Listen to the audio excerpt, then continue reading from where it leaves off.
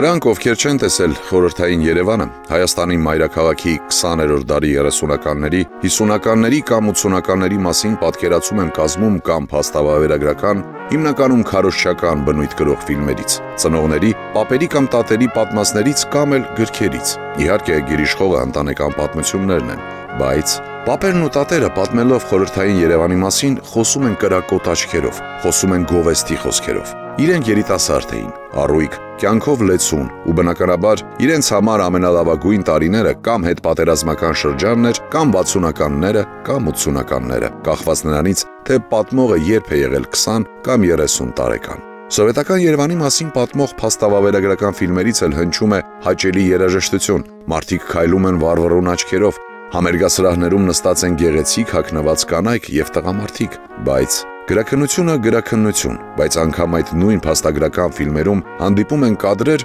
որոնք կարող են վրիպել շատերի աչքերից, բայց ամենաուշադիրները նկատում են ու հարցնում. ինչու են զնարատ փողոցով 60-ականների կեսերին ուրախ եւ կենսախինդ դեմքերով աղջիկները, երիտասարդ կանայք քայլում ամառային կամ աշնանային կոշիկներով։ Պատասխանը པարզ է՝ ծմերային կոշիկներ չկային։ Այո, այդ սովետական Երևանում, որտեղ ըստ քարոշչական ֆիլմերի, պապիկների եւ տատիկների պատմածների ամեն ինչ հրաշալի էր։ Իսկ մարդիկ երջանիկ իրականում թաքնված էին կամ թաքնված չէին բազում խնդիրներ, բայց դրանց մասին խոսել, բարձրաձայնել չէր կարելի։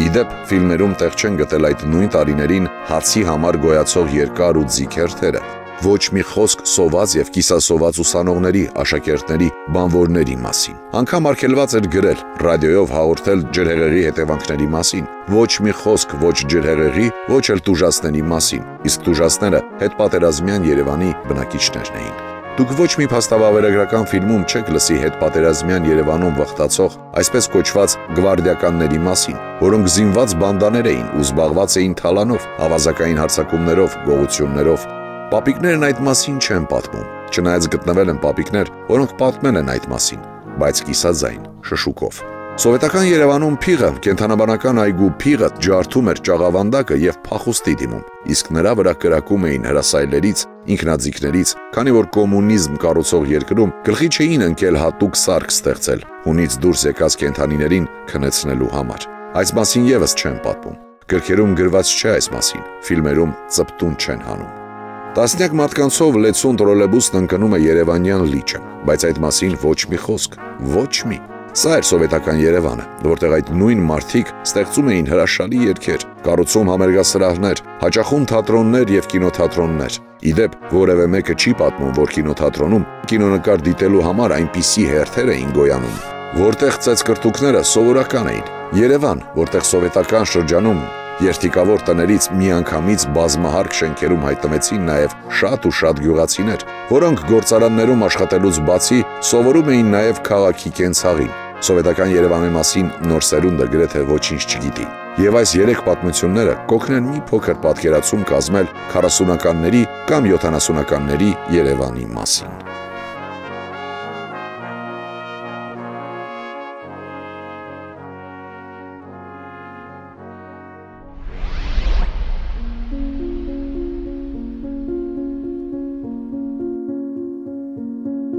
Նայում ենք այս գետակին, որի անունն է Գետար եւ մտքներովս անգամ չի կարող անցնել, որ այն ունակ է այնքան վառարելու, որ կարող է հեղեղել Երևանը։ Այդպես էին մտածում նաև մինչև 1946 թվականի մայիսի 25-ը, երբ Գետարը դուրս եկավ հունից եւ մեծ արագությամբ հեղեղեց Երևանի շատ թաղամասեր, պատճառ դառնալով ավերածությունների եւ անգամ մարդկային զոհերի։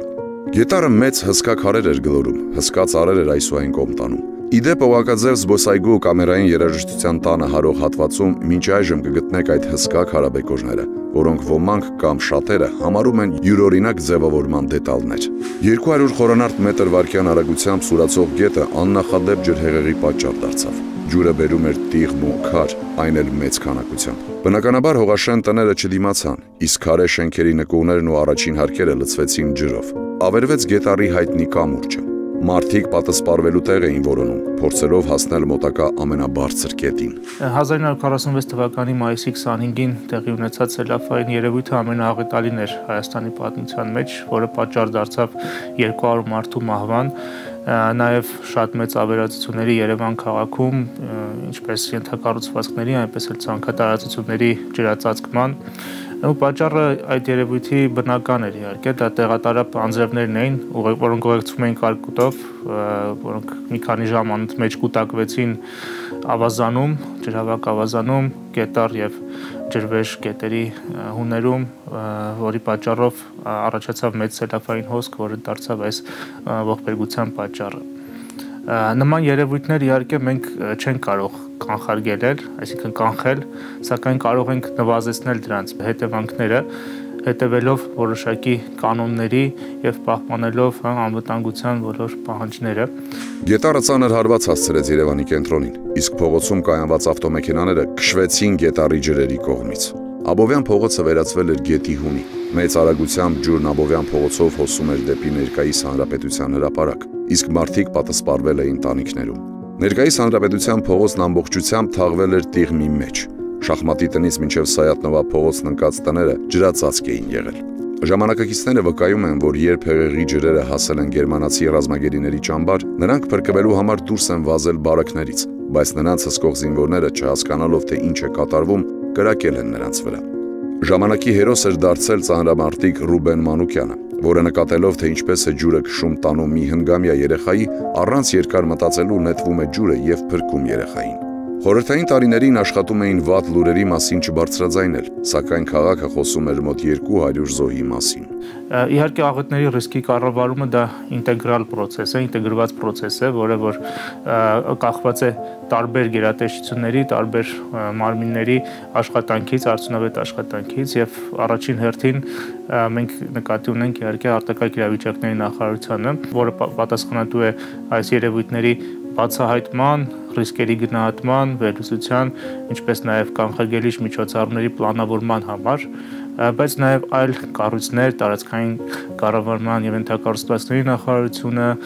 մյուս նախարարությունները ունեն իրենց գործառույթները այս process-ներում։ 1946 թվականի ամռան սկզբին կառավարական հանձնաժողով ստեղծվեց։ Գիտնականները հասկացան, որ բնության օրենքներից մեկի համաձայն նույնիսկ ամենափոքր գետակները, որոնք անգամ արվի են նման, քան գետի, որոշակի ժամանակահատվածը մեկ ունակ են ջրհեղեղի պատճառ դառնալ։ Այդ էր պատճառը, որ վերջապես գետարի ափերի ամրացման եւ ափամերձ պատնեշների կառուցման աշխատանքներ իրականացվեցին։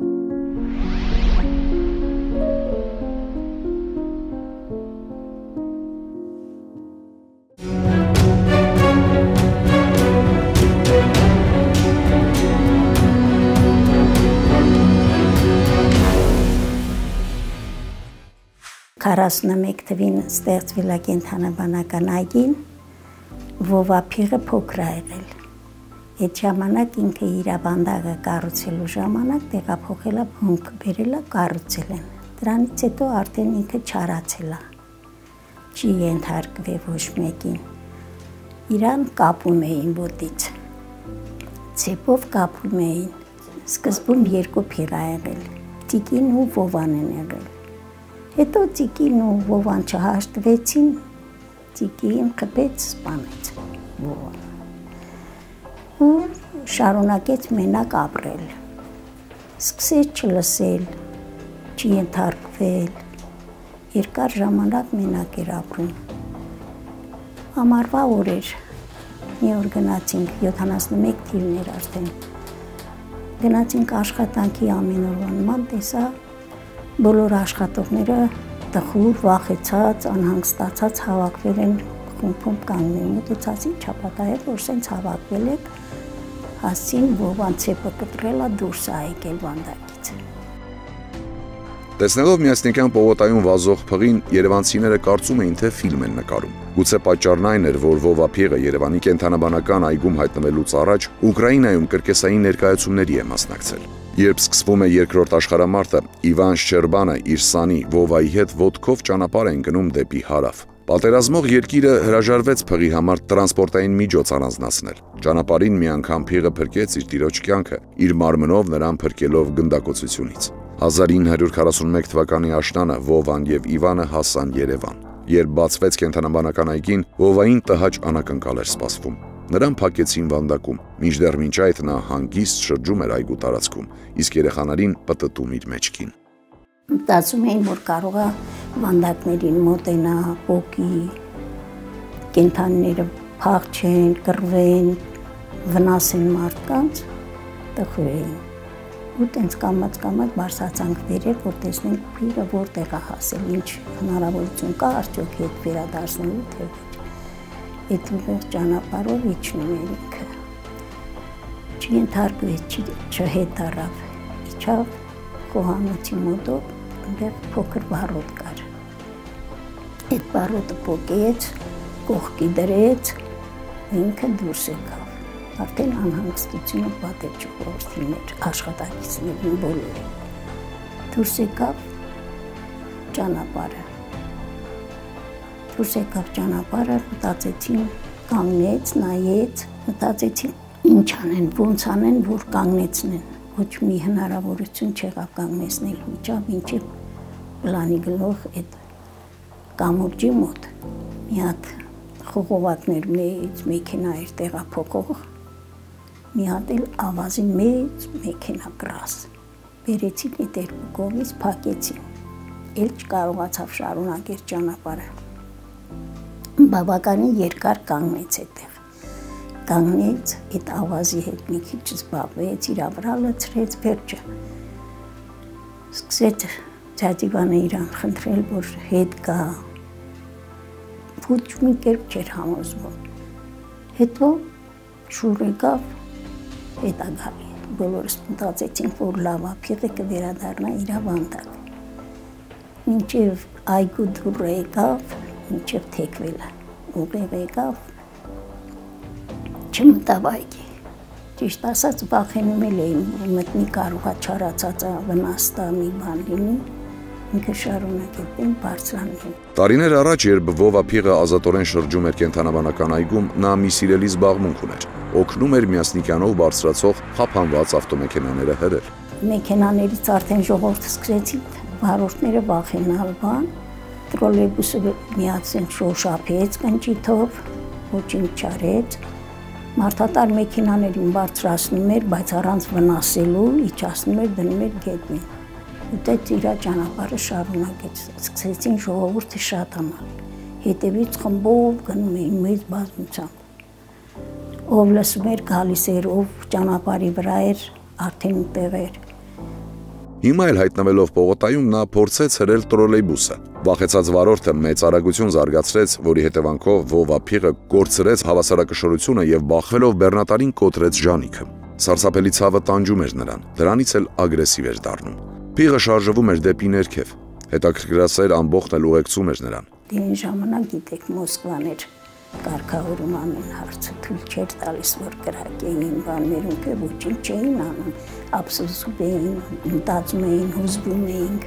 շատ վատ ժամանակ էր Ճակատագրի հեգրանքով կենթանաբանական այգու տնորեն Թադևոս Եգանյանը այդ օրն էր վերադարձել Գերմանիա կատարած ուղևորությունից։ Ավելի ուշ նա պատմել է, որ իրեն այնտեղ ցանկացել են նվիրել ատրճանակ, որի օգնությամբ անհրաժեշտության դեպքում կարելի է մի քանի ժամով քնացնել կենթանիներին։ Նա հրաժարվել էր. 1970-ական թվականներն էր, բայց խորհրդային երկրում չէին մտածել այդ եղանակով կենթանիներին քնացնելու մասին։ Հետո հրաման եկա, որ կենթանին պետք է գերացնել շատ ցավալի էր։ Զինվորական կանչեցին, ցիկաչին ասում ինչ դե փոքր տանկով եկավ, որ խփեց, փիղը արդեն ընկավ։ Ընկավ հետո սպանվեց։ Եվս մի քանի կրակոց եւ Երևանցիների սիրելի փիղն անշնչացած ընկավ։ Իվանը ուշագնաց ընկավ փղի կողքին։ Նա հիվանդանոցում երկար ժամանակ անցկացրեց։ Իսկ մեկ տարի անց գնաց եւ Բելարուսից նոր փիղ բերեց, որը մի քանի տարի անց նրան սպանեց հենց Վանդակի ներսում, երբ փորձել է հերթական անգամ կերակրել նրան։ Վովափղի հետ կատարվածը դեռ Երևանյան զրույցների առաջնատարն էր, երբ 1976 թվականի սեպտեմբերի 16-ին տրոլեբուսն ընկավ Երևանյան լիճը։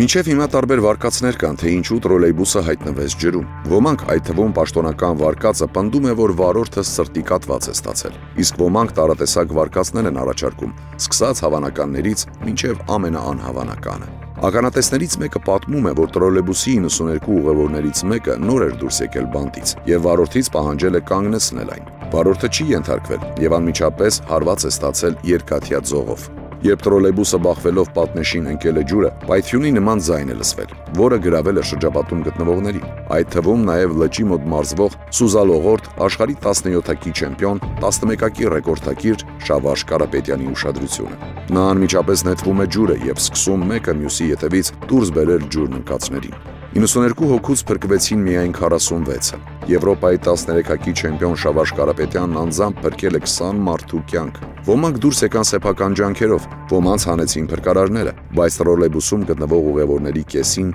չհաջողվեց փրկել։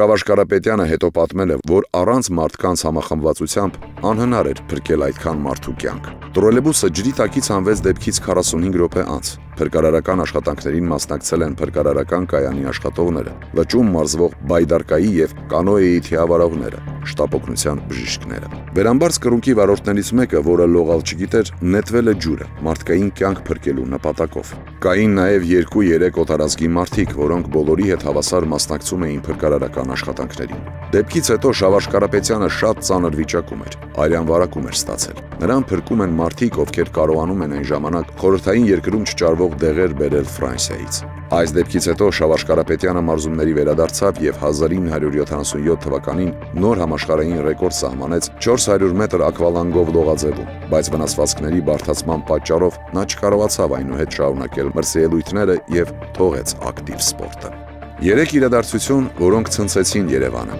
որոնց մասին խոսում են նաև հիմա, մինչև հիմա։ Հավանաբար կխոսեն նաև հետո։